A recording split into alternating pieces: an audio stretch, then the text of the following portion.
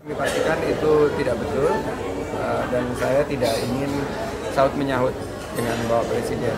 Tuduhan Bapak Presiden itu ya jangan kita uh, tanggapi kalau enggak nanti akan saling serang menyerang. Kita tidak menggunakan uh, yang dituduhkan itu bahwa kami semuanya merasa bahwa 1180 titik kunjungan yang kami dapatkan kita dapatkan informasi yang luar biasa yang menunjukkan di mana uh, yang menjadi keluhan masyarakat harapan masyarakat.